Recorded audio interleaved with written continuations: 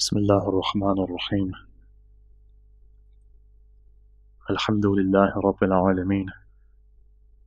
والصلاة والسلام على أشرف الأنبياء والمرسلين. سيدنا ومولانا أبي القاسم محمد.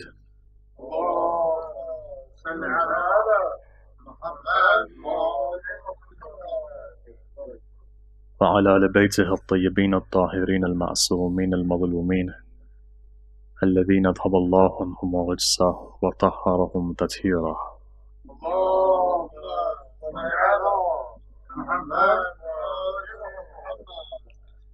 أما بعد قال الله الحكيم في كتابه الكريم بسم الله الرحمن الرحيم. ولقد كتبنا في الزبور من بعد الذكر أن الأرض يرثها عبادي الصالحون. صدق الله العلي العظيم.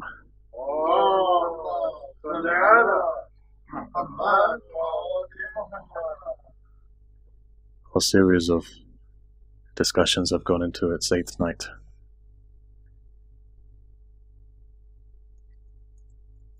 Remember one thing any action, any step, any good word, anything which is done for the sake of Sayyid al-Shuhada, understanding who Sayyid al-Shuhada is, the reward is more than you can ever imagine. As these nights have gone by, you would have noticed inside of you that there is a change, that there is a softness, and that there is a movement. Your faith would have increased by now, and your heart would have been softened by now. These are just some of the very few miracles which take place because of Sayyid al-Shuhada. So therefore, any action, even a step that's taken, Sayyid al-Shuhada doesn't hold a debt on his shoulders. For whatever you do, if you truly understand who you're doing it for, in fact, let me take those words back. Even if you have a minor understanding of who this son of Zahra is, it's sufficient for you that this world and the hereafter is yours. You know, they say, Kamil ziyarat. Every step that's taken in the way of Sayyid al-Shuhada. The reward is 1,000 Hajj, 1,000 Umrah. Now, this is not me who's saying it. This is your Prophet who's speaking to Umm Salama. There's another tradition that says he's speaking to Aisha, where he's saying every step that's taken. Hajj, which is Maqbul, which is with me. Umrah, 1,000, 1,000. Question is asked, and you've heard this before, but I want to explain it again now. You know why? Because as these nights go on, your ma'rifah potentially increases. The very same hadith which we recite on the first of Muharram, by the eighth or ninth, you have a different understanding of it. If only you've worked on your heart. So now look at this. Story is in front of you. The example has been given by many ulama. A king goes hunting, and as he goes hunting, for three days he's lost. For three days, no food, no water. Eventually, he comes to a cottage. He sees somebody living in this forest. And over there, when he knocks on the door, a woman comes out. All she has in the world is one sheep. So what does she do?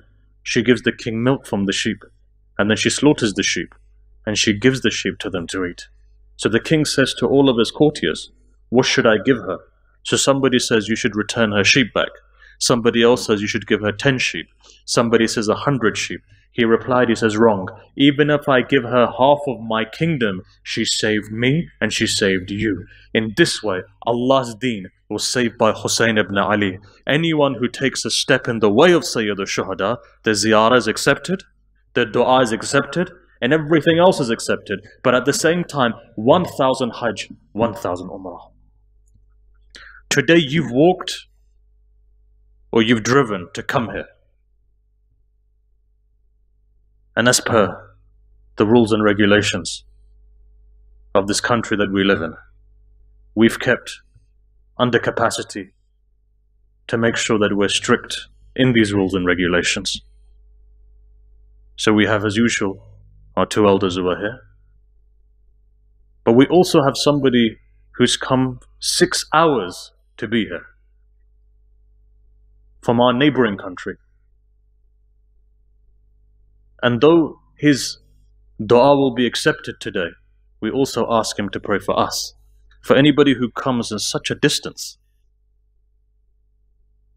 is accepted. Remember, when we go to Karbala for the Zawar of Hussein, for the Azadar of Hussein, Ahl Iraq, look at their hospitality. When somebody comes to our country, we also, and they come for Hussein, similar hospitality we're to show. Our acceptance of our dua is showing hospitality for those people who are the guests of Hussein. And their acceptance is for every step that they take for the sake of Imam Hussein. And this is something if we can learn now, inshallah, when the doors open for Arba'in and when you will go there, truly then you'll understand what goes in the heart of Ahl Iraq when a six year old boy comes to you and says to you, for the sake of Hussein, take this. You know, I've mentioned this before, but I remember many years ago when we were walking from Najaf to Karbala. It was a time when Daesh were at its peak, and there was a threat that any of us could have been attacked. And from all over the world, people were coming, and at that stage, loads of people came. Why? Because know something in the history of Shiism, whenever Imam Hussein's shrine is in stake, you find the most Shia come for the sake of Imam Hussein. So at that moment, we're walking, and there's children with me. Someone from Dubai is there, someone from East Africa is there, somebody from America is there. We've got people from Canada there, from people from the United Kingdom or there, people from France are there. And as we're walking, a small boy comes. And we remember when the small boy came, he didn't have any shoes on. And when he came, he all he had was handkerchiefs, what we call tissue. In America, they call handkerchiefs. Brought it forward. And he came and he said something. He said, Look, my mother and father were killed by Daesh. Now imagine small year old boy, small boy. He says, I don't have anything to give you. I wish I had something, but I have no money. All I have are these tissues. If you take one, at least on the day of judgment, I can say to Fatima to Zahra, I did something as well. Now that type of iman, that type of belief, if we find it in a six-year-old boy, today we don't have that. Of course we do. We just have to uncover that. Whether or not we took it or not is another matter, because in Sharia, as you know, child as yatim, it could have been his mal, it could be otherwise. There's Sharia issues when it comes to taking something from a child, etc. But anyhow, it's the principle of what it is. The principle of the fact that here's a child whose consciousness is elevated. This is what Imam Hussein teaches us. Teaches us that level of humanity that unfortunately we've lost. And we have to develop that as well. We have to enshrine that as well as these nights are going. There was a maqsad, there was a method of Imam Hussein. Look, let's go back and see. Every Imam system has been quite unique. The only two Imams that we have who raised a sword were Amir al Mu'mineen and Imam Hassan. The reason why they raised it was because they were caliphs of an empire that required to be protected. Otherwise, Amir al Mu'mineen, his haqq was taken for 25 years, he remained quiet. He didn't take a sword, he didn't fight. But those three battles he fights is because of the peace of the community that they were attacking, he was defending. Look, we're not saying we're pacifists, that somebody comes and kills you when you stand there, allowing somebody to kill you. According to every charter, you have the right to proportionally defend yourself. But none of the other Imams, you notice, lifted up a sword. Why? Because they weren't in the position to keep the peace of a country. The only person who defends himself is Sayyid al-Shuhada. If somebody was to ask you the question, was Hussein going to fight? Actually, he wasn't. His purpose was never to fight. Whenever somebody wants to make an excuse, they say, well, you know, you should, you should sign a peace contract like Imam Hassan did. Or if they want to justify their own means, we should fight like Hussein. Actually, Sayyid al-Shuhada didn't fight. He wasn't out there to fight. His movement against oppression wasn't in a movement to fight. In fact, what Sayyid al-Shuhada was teaching us was the first stage of Tawheed, which is Tabarra. He did Tabarra on Yazid. He says, look, we're not here to fight, but I'm not going to give allegiance to Yazid. He taught with his character. It wasn't the fact that he came forward with a sword. Had that been the case, Medina was the ample place to take control. As you know, our ulama have said, when three people are together, nobody can defeat them. Who are they? Muslim bin Aqil, Abu al-Fadl Abbas, Muhammad Hanafiya. If those three brothers were Sayyid al-Shuhada, came out close to Baqi, then you would have seen that no one could have come and won. What does Imam Hussein do? In the principle of the fact that he didn't want to fight, he says to one, you stay in Medina, you go to Kufa, you come to we come with me. Purpose of that. Hussein is saying he didn't want to fight. And what is the biggest dalil that he didn't want to fight? He took his children with him. And by taking his children, he showed the world their oppressors. If someone can turn around today and say that we accidentally killed a child, then tell me, you accidentally killed Qasim, you accidentally killed Ali Asghar, you accidentally killed Aun and Muhammad, and then you accidentally cut their heads, and you accidentally raised them on a spear. And if that's all accidental, then let me ask you a question then. What about those small girls? You accidentally beat them? You accidentally scarred them? They accidentally died? Tell me, for those people who say that it was a war between two princes. Tell me, where's the truth in that? How can you accidentally exterminate the entire progeny of Fatima and then say that Yazid is correct? Your Islam and our Islam is completely different. You cannot do that. Look at the methodology. Every single Imam's way was the way of the heart. Why does Imam Hussein go to Karbala for? What is the actual purpose of him going? His purpose is to change hearts. He knew that he had to change hearts. You cannot change somebody by force. You cannot change somebody by the sword. Even when it comes to marriage and otherwise, when you convert for somebody, when you do something for somebody, they'll be the very same person to take you out of the deen as well. Many a time we've seen this. This is why do not force somebody to convert. Do not force somebody to do something. Do not force somebody to wear particular clothing. Do not force anybody to do something. The reason being is this, if their heart doesn't appreciate it, what happens is that and eventually they will go out of the deen as well. Their traditions, if you force somebody or somebody does hijab for somebody else, that other person will be the person who'll push this person away from hijab or away from Islam. What is Imam Hussein doing? Had he forced and had he won? Who've done this before? Zubairis did that. Where are they today? Umayyas did that. Where are they today? Abbasis raised in the name of Imam Hussein. Where are the Abbasis today? They were even more tyrannical. People came forward in the name of Imam Hussein. They used the name of Imam Hussein. They fought in the name of Imam Hussein, and people fought with them. Question is this though, where are they today? What is the method of Imam Hussein? The method of Imam Hussein is the method of Imam Zain al-Abidin and the method of Imam Muhammad al-Baqir and the method of Imam Ja'far al-Sadiq and the method of Imam Musa al-Kadhim Method of each one of them. What is that method? You begin by purifying people's hearts. You begin by capturing people's hearts. You create a revolution to revolve. Revolve what? Revolve people's heart. Inqilab, to re- what qalaba what? Where does it go back to qalb? You change the heart of the people everything else takes form of itself. What is the method of the 12th imam? What was sahib dawat nabawiyya. He comes forward and he gives dawah to people introduces people brings people in the way that the prophet did. What is the prophet's methodology? Through rahmah through mercy through what are the methods of the prophets? What did Nabi Isa do? Washed the feet of people, washed the hands of people, looked after those people who are oppressed. What did the Prophet do? The first thing in Mecca he does is he takes care of those people who are oppressed. Today we have it the other way around. We try and attract those people who are rich to come. If you want to make a difference, you want to grab people who are rich. You want to grab somebody who you think is a mover and shaker. That's never been the methodology of prophets. They do it the other way around. They take the most impoverished and nurture them and they bring them to the top. Look in Karbala and see. Half of those people who are there, they weren't well-to-do people. They were those people who Sayyid al-Shuhada brought forward and said, they may not think you're something, but I think you're something. My Allah thinks you're something. And until the day of judgment, when people come and do my ziyarah, they're going to be doing your ziyarah as well. Understand this philosophy. Go to those people who are here and bring them up here.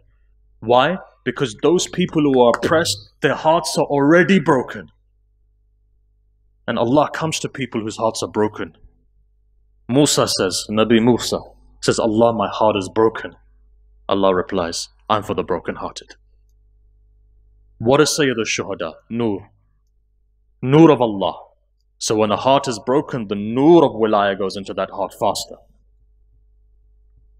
Why have we been told? Why do our elders, our ulama, have now said, when you're living abroad, and even if you're living in an Islamic country.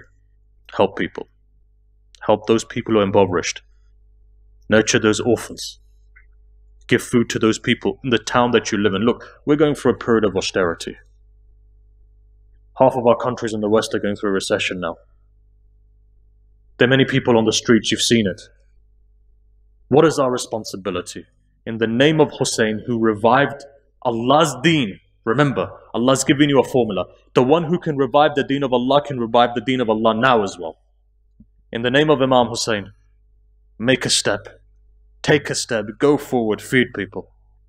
If you live in London, feed people. If you live in Birmingham, Manchester, Edinburgh, Glasgow, Maryland, Virginia, Washington, Chicago, Toronto, and for all of those other people who have messaged from all over the world. Orlando, LA, Sydney, Dubai, Mumbai, Karachi. And if I've missed any other name who have mentioned or have texted me in the last couple of days, I apologize. But wherever you are in the world, take this message of Imam Hussein. What did Imam Hussein do? Raise those people who are impoverished go out in the name of Imam Hussein. Even if you can give one single date with the right intention, you see how Hussein takes over. We've been told you just give him one of our sayings, we do the rest. You don't need to give him the whole Quran, nobody reads it. So when somebody knocks on your door and gives you an entire Bible with literature, you're not going to read it as too much, but if they were to give you a small slip, you'd read it. That's all you need to do. We're not evangelical. We're not here to convert anybody. All we want to do is show you the beauty of who Hussein ibn Ali is. That's what we want to do. And that's it. And the world appeals and they come to him. So look, the entire system of the Imams have just been that. None of the Imams, look, we're not living in worse times than the fourth Imam was. We're not living in worse times than the fifth Imam was. You're not being exterminated. Your children are not being killed. From the blood of Hassani Sayyids, Baghdad was created. The Qudama said it's makruh to live in Baghdad. Why? In the time of the Abbasis, the walls, they were plastered, Hassani Sayyids were. An extermination process took place. Awlad al-Zahra were killed wherever you found them. Why do you think Imam al-Rida in four years say, says to the Saada. Leave, go, go as far as you can. Why do you think they're from the tips of Spain all the way down to Indonesia? Because they ran away from oppression. They went wherever in the world they could do because they were being killed. This is why they're everywhere. The most Sayyids today, Indonesia. As far as Indonesia, there's a mosque in Burma, Muhammad Hanafiya Mosque those inhabitants, some of them over there say Muhammad Hanafi is buried there. Of course, that's not the case, according to our history. However, it's fine. When you make something Sha'ir Hussein or Sha'ir Allah, let's respect that. Today, Sayyida Zainab has two graves one in Damascus, one in Cairo. Some of our ulama say one is stronger, the other say the other is stronger, riwayat. And both of them are very strong. Ayatollah Bahjat says Cairo is the asl. Ayatollah Tabrizi would say Damascus is the asl. Sayyida Zainab over there. Regardless of what it is. Your hajjah fulfills there, your hajjah fulfills there. Niyyah. It's the heart. Ahlul Bayt and the nur of the Ahlul Bayt are not restricted to one place. Try say Ya Abbas now when you see. It's not restricted to one place. When you go and your parents teach you to go under that alam, whether you're in Karbala or you're in Winnipeg, the power of that alam is the power of the alam. So look, look at our imams. In the most period of time where there was the most oppression, they had a four pronged methodology. I can't speak any more open than this. What I'm saying, analyze it, write it down, go home, think on it. Your entire philosophy of survival of the last 1400 years is what I'm about to say. And as many things, it will take much longer if we were to expand and talk about it. But within the time frame we have, I'm going to mention it to you and I'm going to move on. For those who grab it, grab it. For those who don't, you don't. What did Imam Zain al Abidin do? You know the first thing he did? He developed networks. Networks, private networks, all over the Islamic world, where he could teach people three things ilm, ma'rifah. Now, what's ilm? Ilm is what you have it. I don't need to explain it. Ilm of the deen and ilm of the dunya. Ma'rifah. Ma'rifah is to do with the spiritual travel. You spiritual travel, you spiritual practice. But at the same time, pragmatically, he made sure that the community was firm. And at the same time as well, he made sure of another thing, and that was that this community wasn't going to be targeted after Karbala. Fifth Imam, the same thing. Sixth Imam, the same thing. On the point of the ninth Imam, Ghaibate Sughra essentially begins, where the Imam automatically, three of our Imams essentially go into occultation and they devolve into their networks. Why do you think that a government or a group like the Fatimids was successful? Because even before secret societies were founded, they had their own secret societies. The entire Templar model was based upon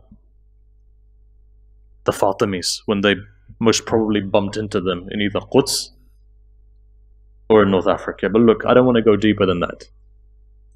The only thing here is I will say, how did you identify Shia? Because they used to wear a ring on a particular finger, which was a turquoise. Had a particular handshake, had a particular stuff. Survival. Why do you think in the time of Harun Rashid, that there's a tradition that says that the women of the Ahlul Bayt, they only had one cloth amongst a number of people. Fundamentally, the reason was this because he was worried how is it possible the Imam has so much wealth? Harun Rashid was giving, but whenever somebody went to the Imam, the Imam gave more. So he said, perhaps through the women that these network of khums and zakat is there, strip them, search them, in the time of the sixth Imam, they say. In fact, in the time of the eighth Imam, very close to that happening, which didn't even happen in Karbala. Hukum was given search these women. And at that stage, the Imam then says, if you do that, then we'll fight. Got that close to it. But the Imam protected, and it's his responsibility to protect his women. But look, Ma'rifah is important. Firstly, education. Educate yourself. Every Shia, whether you're living in the West or you're living in the East, it is your responsibility to educate yourself. Educate, education for all of us, male, female. Our ulama have said, as high as you can go, as high as you can go, go to university, have your, take your masters, grab a PhD. However high you can go, do it. If you have the responsibility or if you have the opportunity, if your parents are taking care of you, go and study. Learn a skill. If university is not for you, learn a skill. Allama Tabatabai would say. People asked him, What do you do? He used to read. So they said, Don't you get bored? He says, When I do, I read something else. Ilm is not something you can get bored with. This is what Amir al Mu'mineen says. Two types of people's thirst will never quench. One who goes after money, the more they accumulate, the more thirsty they become. And second, the people who go after ilm, the more they gain, the more thirsty they become. Very famously, though, Allama Tabatabai on the day of Ashura, first year when he was in Najaf, studied on the day of Ashura, went blind. Goes to Sayyid al-Shuhada, says, from today onwards, I won't study on Ashura day. His eyesight came back. Remember, when the day of Ashura comes, do not work. Do not study. Do not do anything because that day is specifically and only for Sayyid al-Shuhada.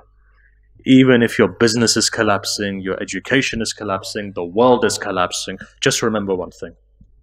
Hussein ibn Ali. Nobody else. So this is important. Take it to the second stage. What else was the responsibility of the Imam? The second responsibility of the Imam was this to teach people ma'rifah. In this day and age, how do we do this? This is how we do it. Look, first thing is this Hadith Kisa. Why is Hadith Kisa important? Hadith Kisa, in and of itself, was brought down and given nisbah to Zahara. Anything that's given nisbah to Zahara is the fastest methodology of acceptance. As I've said before, when Ayatollah Tabrizi's 40th came, and ulama were discussing whether the sanad is weak or not, Ayatollah Bahjat walked in and said, read Hadith Kisa. Ayatollah Bahuddiniya said, from the four things another that you should do when you're falling into a problem, one of them is to recite Hadith Kisa. Second is what? Second is tawassul. Take tawassul of Ahlul Bayt. What type of tawassul? I'm going to go through a story. That story is this. Some of you privately may have heard it from me, but because others haven't heard it, outside, I'm going to mention this. Story is this. Muqaddas Ardabili. Who is Muqaddas Ardabili? That person who Imam al-Zaman called Muqaddas. Why is he so? Because he took care of the small things. Going to Hajj, horses there, letter is given. He gets off his horse and he begins to walk. Why? Because he remembers, I only paid for this much, and here somebody's giving me something extra, so I'm going to walk. That is a person who takes care of the small things, takes care of Sharia. What else do you find about Muqaddas Ardabili? And as you know, why is he Muqaddas? As he is going to Kufa, there's a horse rider who's coming. And as that horse rider comes forward, he says, Where are you going? He says, I'm going to Kufa. He says, Get on my horse. Gets on his horse. Sheikh Ahmed, do you know so and so from Ardabil? After Sheikh Ahmed told him, I'm from Ardabil. He says, Yes, I know him. He's a great man. What about so and so? Great man. What about so and so? Great person. And eventually, the horse rider comes and he says, Do you know Sheikh Ahmed? The one who they call Muqaddas Ardabili. Hey, Sheikh Ahmed replies, He says that they exaggerate. He's actually not Muqaddas, as you may think he is. So the person smiles. He says, Sheikh Ahmed, if Muqaddas Ardabili wasn't Muqaddas Ardabili, he wouldn't be on the horse of the 12th Imam. The people like that. Now, without going any deeper into this, how does Sheikh Ahmed Muqaddas Ardabili become Muqaddas Ardabili? He says one thing. Tawassul Khaja Nasir ad-Din Tusi. There is a tawassul that you recite on Tuesday, but there is one which is slightly more lengthier. Muqaddas Ardabili says, I got to this maqam.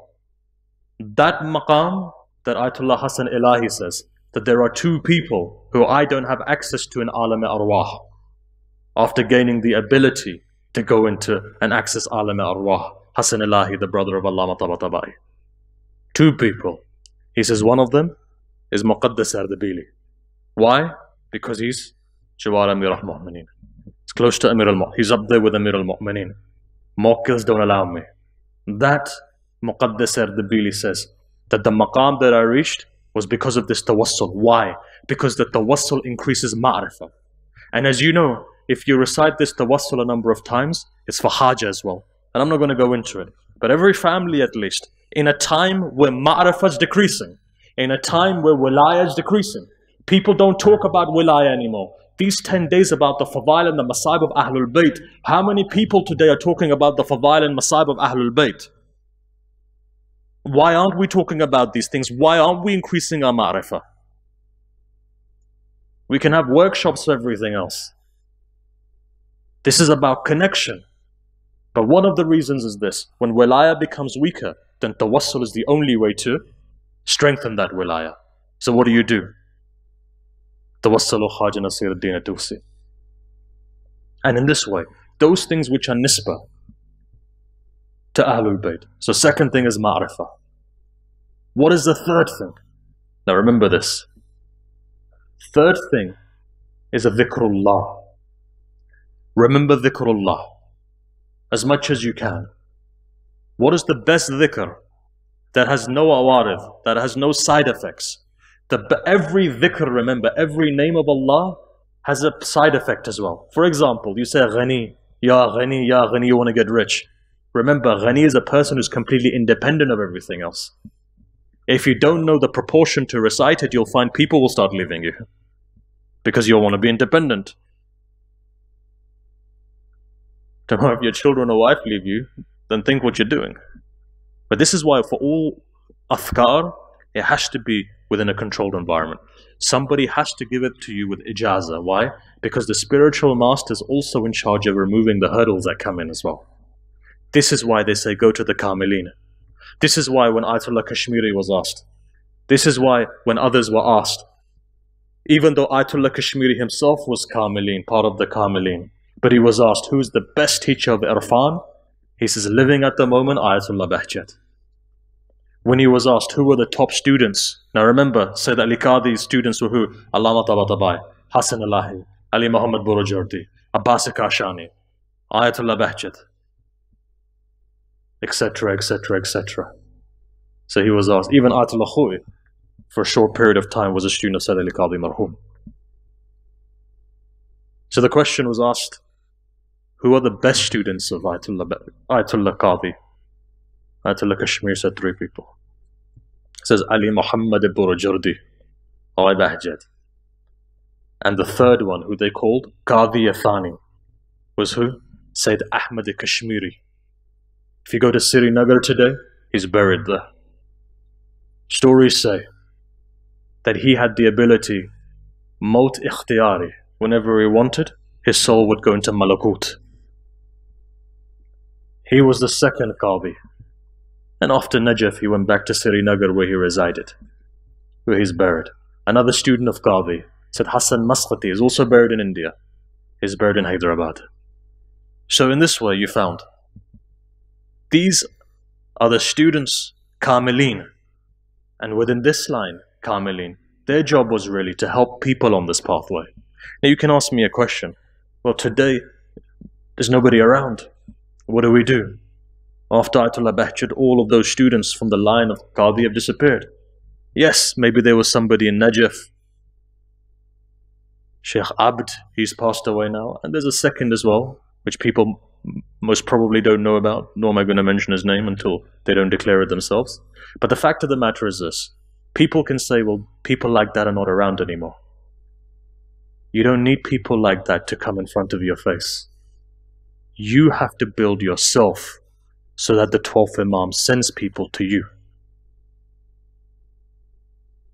You have to build yourself up. Some people will say, well, we're at a disadvantage in time of Najaf, they were X, Y, Z. Okay, they were. They say ulama of Najaf in the olden days had three abilities. One ability they had, ilm Jafr. One ability they had, Tayal Ard. One ability they had, they could read the Mir, the Urafa. So well, we don't have that anymore. Well, there's a reason why. As materialism increases, spirituality decreases. If you work on yourself, everything will open up. Remember one thing you are not separated from your Imam. You are not separated from Sayyid al Shuhada. Let me give you a tradition. One day, fifth Imam says, My father and I were walking. We were walking outside of Medina. I saw that an old man came forward. My father, with all of respect, went running. And he said, May my mother and father be sacrificed to you. Kissed him on the hand, respected him. Afterwards, when I asked my father who that was, he said that that was my father, Hussein ibn Ali. Sayyid al-Shuhada, you physically can't see him. That doesn't mean that he's divided from you. Remember, the Shuhada are not dead. Allah has given them rizq, You can't see them. It's a very thin line. Where do they reside? Malakut. Develop your own malakut. Alam and malakut. Open your eyes and you'll see it. You'll see what you need to see. It. Have you not? This book that's been translated that everybody has in their house now, Elixir of Love about Rajab Ali Khayat. Rajab Ali Khayat himself was a Khayati, he wasn't even an alim.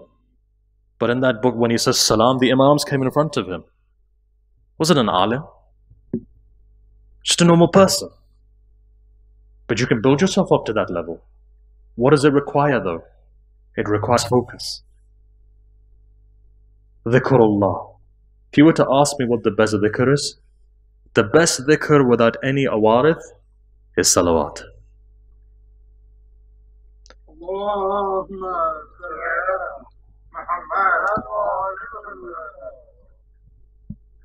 Just remember, that the world is watching. Let it not be that they say that our two elders in Edinburgh can't give a salawat.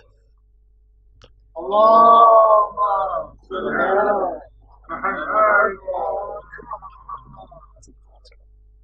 oh, mashallah. Not only the elders, but the youngsters in Edinburgh can also. And this is that Edinburgh that Imam Hussein Day nowhere in the world has been established but Scotland officially. That nowhere else in the world has that iftikhar, but Scotland does. That Imam Hussein Day officially has been established in Scotland. So, no. And this is the power of salawat. And we've got to continue to do it. Remember, you know what you're doing.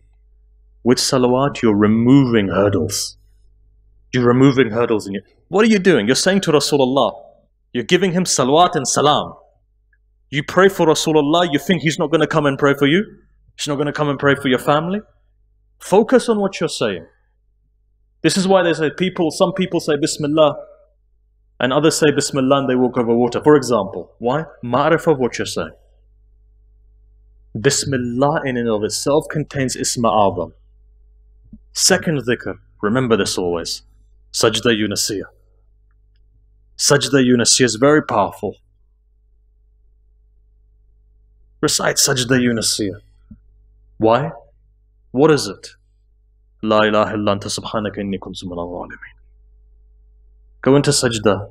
If you ever get an opportunity, five times, ten times, twenty times, fifty times. Recite it a couple of times. Why is that important? They say that if you want your hijab to open from your eyes, dhikr yunasiyah for 40 days. You recite it a particular amount of times, you'll see your hijab opens. Hujab begin to open. Haqiqah begins to reflect inside of you. Akhlaq begins to become kamil. Final thing is this though. There's one more thing the Imam taught us. You know what that is? Service to other people. Today, Shias must be recognized for their service, for their kindness, for their kindness, for their giving. And we have to give unconditionally without wanting anything back. And that's what will make the difference. That when we give unconditionally, without wanting anything back. So, look, we can develop this discussion forward. There's something I wanted to mention to you. But looking at the time, we don't have the time to discuss it. Remember these jewels. Everything is there for you. Ilm, study hard. Ma'rifah, tawassul of the Ahlul Bayt. Especially introduce into your house once a month, I'm saying. Okay, not even once a week, once a month. 12 months of the year for every Imam do Tawassul Khaja Nasir al-Din al-Tusi. You'll see balas removed from your life, afata removed from your life. Peace comes into your heart. And then dhikr, recite salawats, recite istighfar. Don't you remember when one of our brothers was unable to get married? What did Agha Bahjat say to him? Very simple. Recite salawat and do istighfar. When you've recited enough and you feel like changing, do istighfar. Within a week, a proposal came for him. Happily married now. Istighfar and salawat. Both of these are amazing. Why? Istighfar, you are repenting and then you're going back to Allah. What does that do? Removes hurdles, trials, tribulations. Because remember one thing what is the purpose of your life? You are traveling back to Allah. By traveling, you have to go from different maqamat stations, manazil. You have to go from one level to another level to another. And inshallah, maybe tomorrow we'll look at it. There are a hundred, according to at least Manazil al-Sa'irin, that some of the Urafa study, which is probably the most comprehensive book on the different stages. He says that there are a hundred. Though he said I was taught a thousand, but he's compiled it to a hundred. And he says each one of these has a beginner, intermediate, and advanced level. That how you go through these different stages, manazil. We'll look at it tomorrow. I want to go into much deeper into the philosophy of these manazils. That when is the stage of futuwwa? When is the stage when mukashafat comes? When is the stage when you go through perfection? Inshallah, we'll go through that tomorrow. Look, today, we have a huge responsibility.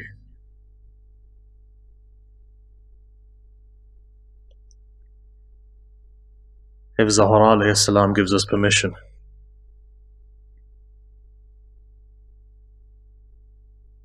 I want you for just one second. Close your eyes. Go to Medina. In the darkness of the night, with his quietness, walk towards Baqi. Look at the darkness of Baqi. A mother rests in Baqi. You're going to give condolences to that mother today. Who is that mother? That mother is that person who, when a voice came to Medina, قَدْ قُتِلَ الْحُسَيْنُ بِكَرْبَلَا She says to Fadl, Fadl, get me my stick. Stick comes. She goes into the Sahan, looks towards Najaf and says, My master Amir al-Mu'mineen, Forgive me that my son Abbas wasn't able to protect your son Hussein.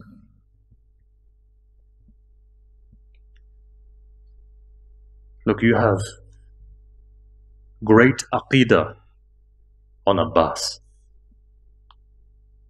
Whenever you go through trial and tribulation, your mothers have said to you, go under the flag of Abbas. As I begin to recite this, I'm going to recite slowly. I myself can't take the Masaib of Abbas. There shouldn't be an eye today that's not crying. Haqq of Abbas is that you cry for him. Look, today we can't be together. We're sitting scattered all over the world. Today, remember one thing. Abbas's Babul Hawaij. What do you give? You get back in the way of Ahlul Bayt. If I had the opportunity, I would recite a very long Masayib to tell you what Abbas is. But because of the situation, I won't be able to.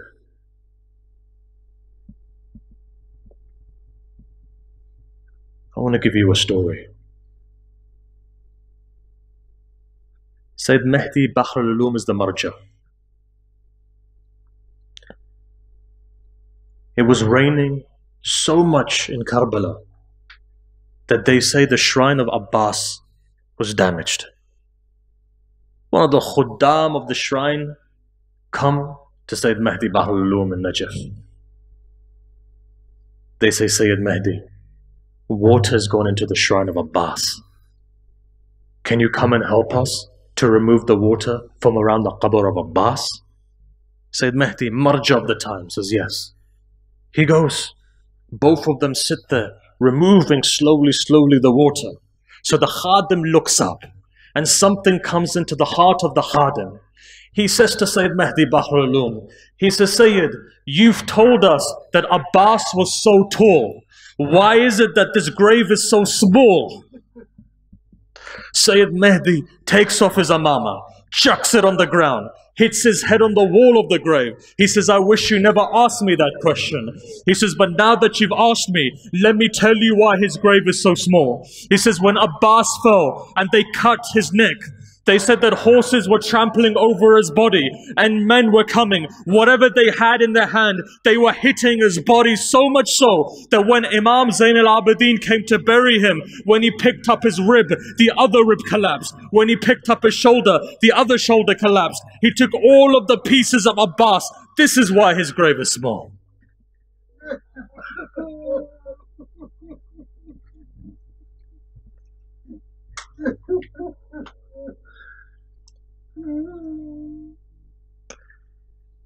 And may Fatima to Zahra accept your tears. Look, I know you won't be able to take the Masaib of Abbas. This is what I'm going to recite slowly. Remember, when tears come into your eyes, dua is accepted. In Iraq, they say there are three Babul Hawaijs. Imam Musa ibn Ja'far is one. Sayyid Muhammad in Balad is two. But the biggest door for the du'as to be answered is Abul Fadl Abbas. You're sitting today next to Abul Fadl Abbas. Why? Because when we start the Musibah of Abbas, your soul travels towards Karbala. Now imagine if you're walking through Bain al Haramain and you're coming towards the Zari of Abbas. And when you come to the Zari of Abbas and you look at it for the first time, what does Sayyidul Shuhada say? Sayyidul Shuhada says to Abul Fadl Abbas, These are my guests. For three days you're the guest of Hussein.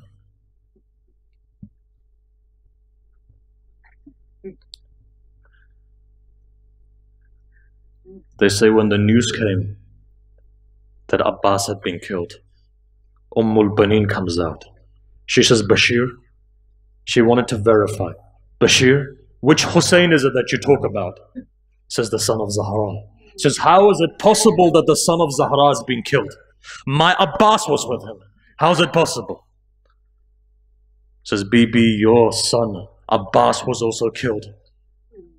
She says, How is it possible that my son Abbas was killed? Said he was hit on the back of the head. She says, Bashir, I don't believe you. Says, Why? Says, No mother has born a son like Abbas like I have. I know Abbas. There's no way somebody can attack Abbas from the back. She says, but your son had no arms. His arms were chopped off. They say Ummul Banin looks up. Stick falls out of the hand, falls to the ground, stands up again, says, Bashir, just tell me one thing. When my son Abbas fell to the ground, he didn't have any arms. Did his chest hit the ground first, or did his head hit the ground first?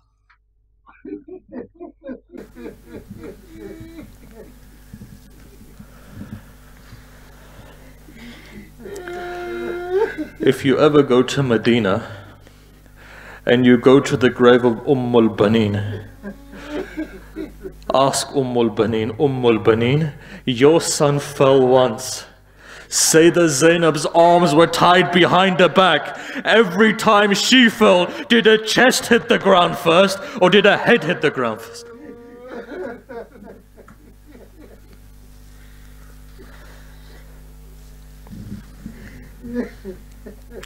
You know, they say the haqq of crying is when your voice is raised. This is when the sixth Imam says that may the rahmah of Allah befall all of those voices that cry. for the sake of my chat.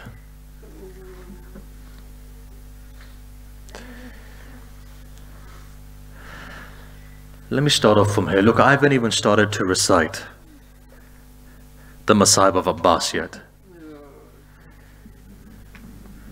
So let me recite this. Amir al Mu'mineen, I'm going to go slowly as I said. Look, you ask for hajat. You ask for hajat. Inshallah, for the sake of Bab al Hawaij, all of your hajat will be fulfilled. They say Amir al Mu'mineen was looking for a wife. He says to his brother Aqil, Find me a particular wife. You know the story. I'm going to accelerate. Aqil finds a woman. Aqil finds an honorable family. He goes to the father of that family.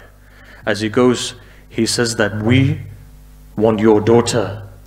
So at that moment, the man replies. He says, For who? He replies, For my brother, Ali. The head of the tribe can't believe it. He says, Yes, for me. So what happens then?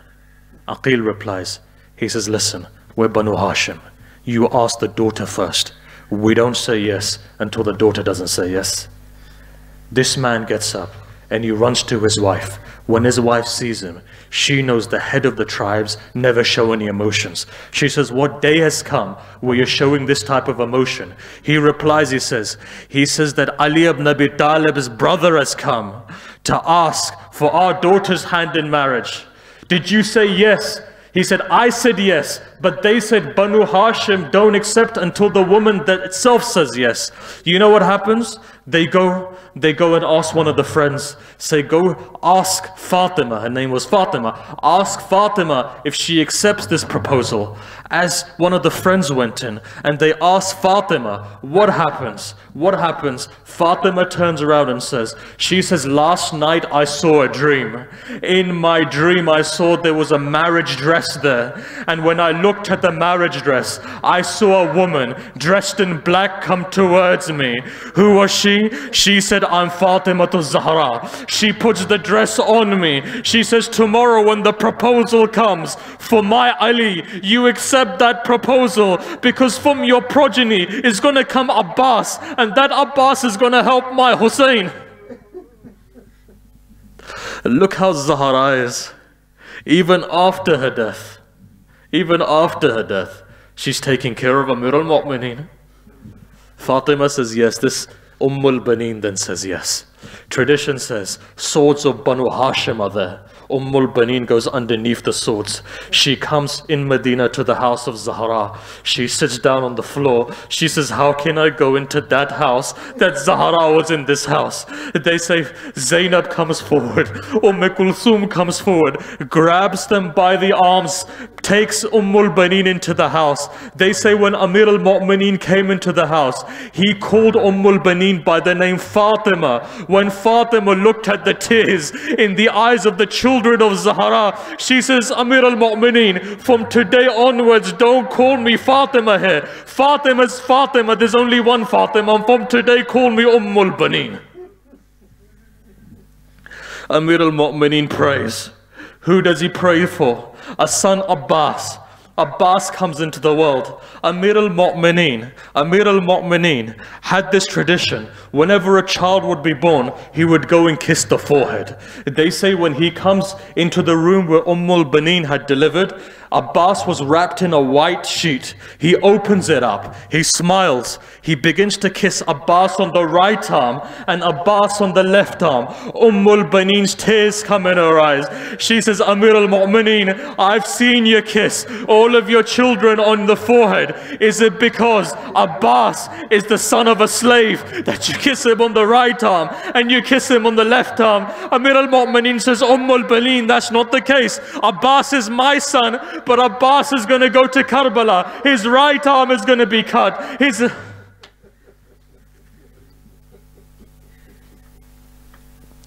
Abbas begins to grow. Like I can't narrate it. Shia of Amir al Mu'mineen only if we were together to mourn together.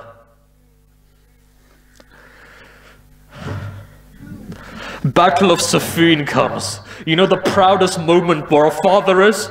when he sees the bravery of his son. They say there was no prouder moment for this old father. Amir al-Mu'mineen would say, look at my Abbas fight in the battle of Siffin.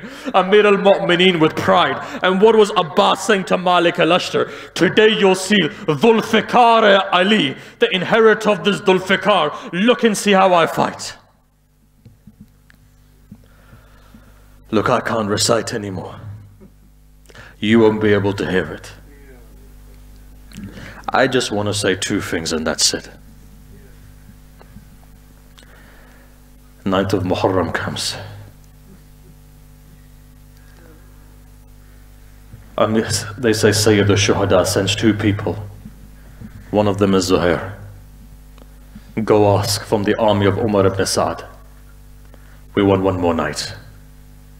Abbas is with them. These two old men, as they begin to write, one says to the other, Do you remember the day when Amir al Mu'mineen got married? He says, I'm going to have a son like Abbas. Abbas is going to protect Hussein. As Abbas begins to listen, he can't take it anymore. He puts his hand on the reins of his horse and holds it back. He says, Don't say any more now. Just get me permission from my master, and until tomorrow you'll see that I'll attack this army and I'll finish this army.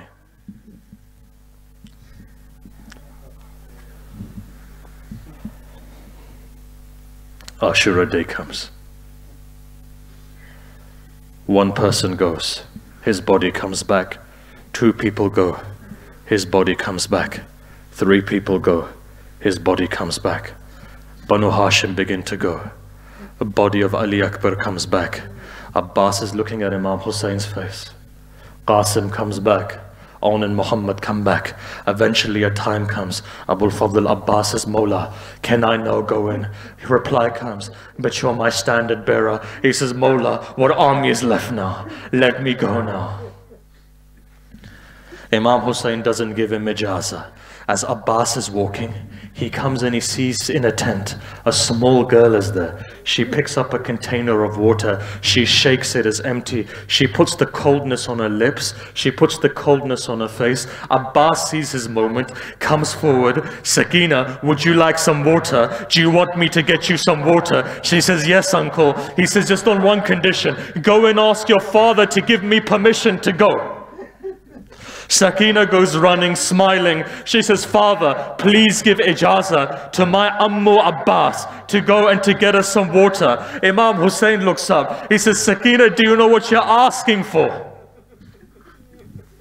Sakina comes back. She says, Oh young girls, oh children of Banu Hashim, oh children of Ashab Hussein, let's get together. Get all of your containers of water. No water is coming. My Abbas is going into the battlefield. Look, if I could recite any more, I would do. You know what the tradition says? I can't recite. I'm just going to give you two things. My heart can't take it. I'm going to recite slowly. Your nasib now. Tears come into your eyes. Your dua is accepted. Your nasib now. This small girl sits down. Have you ever seen a masum, small masum, a small girl? She sits down with all of her faith. You know, children have a lot of faith. They're so pure when you see a child, you can look at the purity of that child. This girl turns around and says, Water is coming. But when she looks into the distance and she sees the flag fall to the right hand side, she takes her flask, she chucks it on the ground, she raises her hands, she says, Children, I'm gonna do dua. You say Ameen. She raises her hands, says, Allah, make sure my uncle comes back.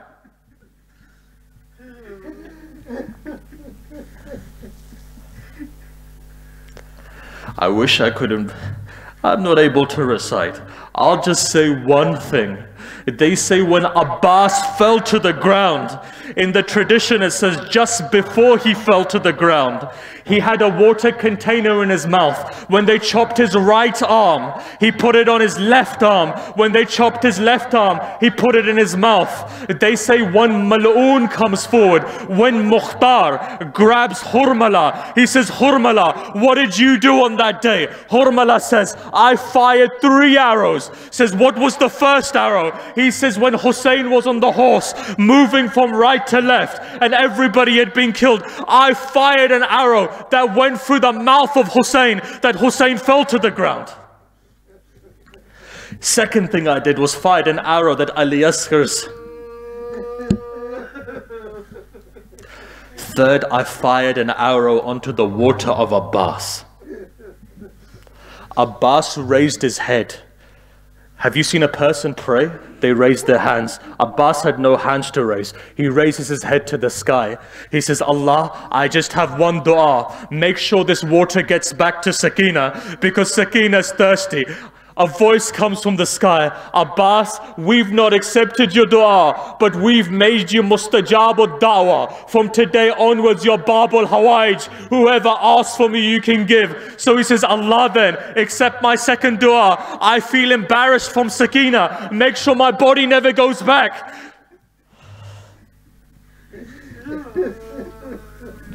they say when Abbas gives his final salam to Sayyid al-Shuhada. They say Sayyid al-Shuhada held his back. Sayyid al-Shuhada falls to the ground. Sayyid al-Shuhada can't walk. When he comes to the body of Abbas, there was blood in Abbas's eyes. Abbas couldn't see. You know what he says? He says, Oh person, don't kill me yet. My Mawla Hussein is coming. Mawla Hussein says, Abbas, I'm your brother. You know what Mawla Abbas says? He says, Mawla, I wouldn't have given you the zahma, but there's blood in my eyes. My mother said, when I was born, I did your ziyarah. Now that I'm leaving, I want to do your ziyarah. Can you clean the blood? Mawla Hussein takes his Abba, rubs the blood from the eyes of Abbas. You know why Abbas had blood in his eyes? Final thing I'm going to say. I can't take it now. I can't recite anymore. In Karbala, for all of those people who are from Iraq, you'll know this. There was a marja by the name of Ayatollah Yahya Yathribi. Yahya Yathribi goes to the shrine of Abbas a wise was reciting. You know what he was reciting? He was reciting this. An arrow went into the eye of Abbas. They say Yahya Yathribi can't take it anymore. He says to the person when he came down, he says, Oh wise, don't ever recite that. Firstly, I'm an old man. But secondly, I don't know if the hadith is correct or not. That night, Ayatullah Yahya Yathribi says, When I went to sleep, I saw Abul Fadl Abbas come into my dream. Abbas just said one thing to me me, Why did you stop my wives from reciting? Yahya Yathribi says, Maybe the hadith was weak. Abul Fadl Abbas says, No, the hadith is strong. Arrow did go into my eye. He says, Yahya Yathribi, do you know how painful it is when something goes into your eye? He says, It was hurting me so much. When something goes into somebody's eyes, they have hands to pull out. He says, I didn't have any arms. I was moving my body left and right to try and remove the arrow as the pain increased. I wanted to call my Mawla Hussein, but I knew he was gharib. He was alone. I knew Sayyida Zainab was there as I'm moving my head side to side. I don't have the ability to move the arrow out. So I put my head between my knees to try and take out the arrow. But as I tried to dislodge it, the pain began to increase and increase and increase and it was hurting me. I didn't know what to do. I couldn't call Hussein. I looked towards Najaf and I said, Father, come and help me because Abbas is... Mata Hussein.